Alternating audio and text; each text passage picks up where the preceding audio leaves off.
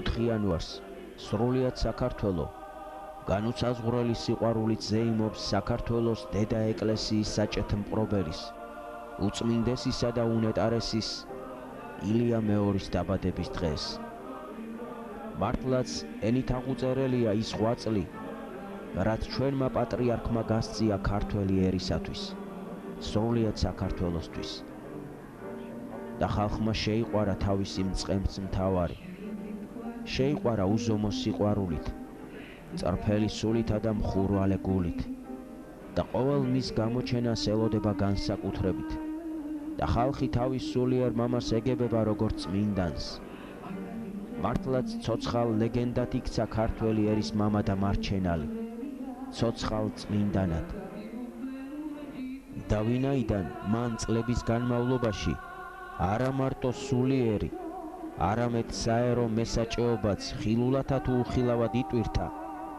ამიტომ შემთხვევითი არა რომ ღვთისმშობლის წილხვედრი ქვეყნის შვილებმა უწმინდესსა და უნეტარეს უწოდეს სრულიად საქართველოს მეფე პატრიარქი. სწორედ მან აღზარდა 1000-მდე სასულიერო პირი.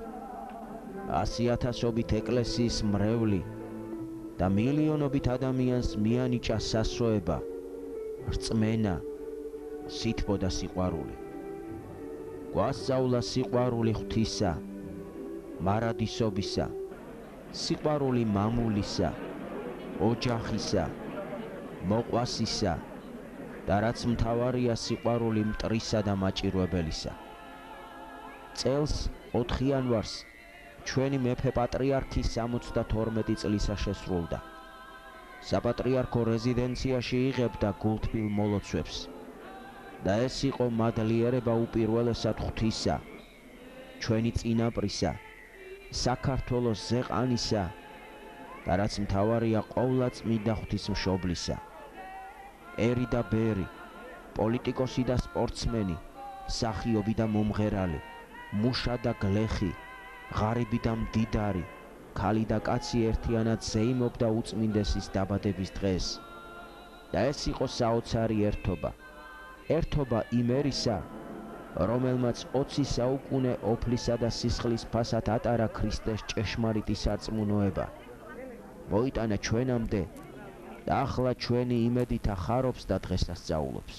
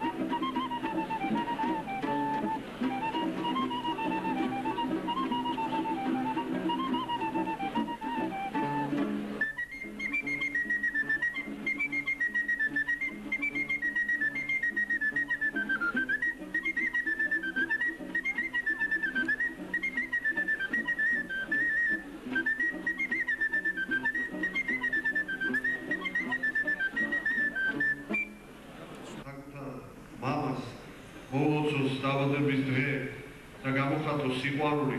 ალბათ საოცრად გამოთქვამს სიტყვები რომელიც ჩვენ მივიღეთ ფერეიდიდან ფერეიდელი ქართველები გილოცავენ თქვენ უძინესო და ეს არის ნიშანი იმისა რომ არათუ საქართველოსში ცხოვრებ ქართველთა გულებთან არამედ მის ფარგლებს გარეთ ცხოვრებ ყველა ქართველთან მივიდა თქვენი ლოცვა მივიდა თქვენი სიტყვა და მათ ჩვენს გულებში და ყველას გულებში არის იმედი არის წმენა და არის სიყვარული.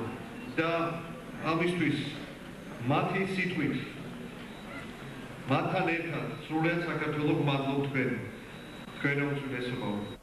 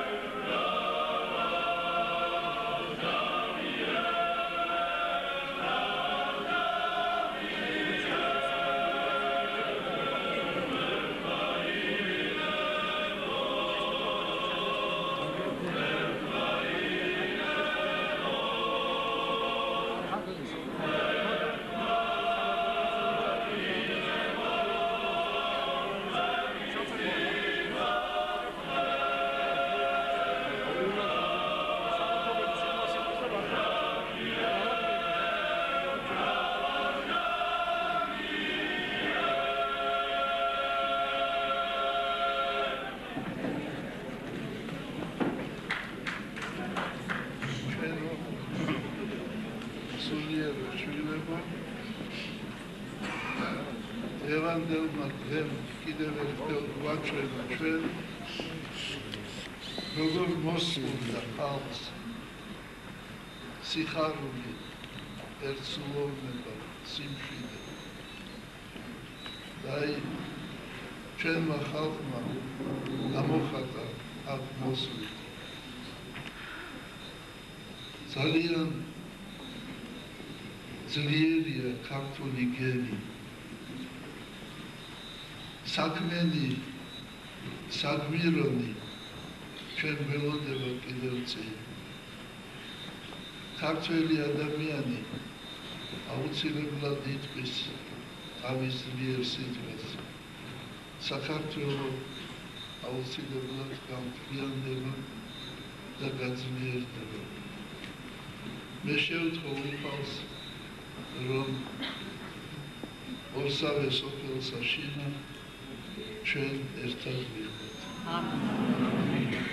ჩვენთან არის. ამინ.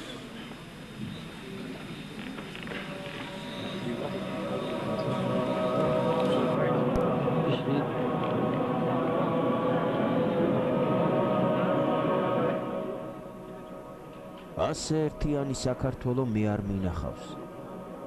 ასე ერთიანად რომ უყვარდეს საქართველო და საქართველოში მცხოვრებნი, ჩვენი პატრიარქის ნაირი ჯერ კაცი არ მინახავს. ასე ერთიანად რომ უყვარდეს მოყვარეც და მტერიც, კეთილიც და ბოროტიც, მე არავინ გამიგია. გაიხარე ჩემო ქვეყანაო.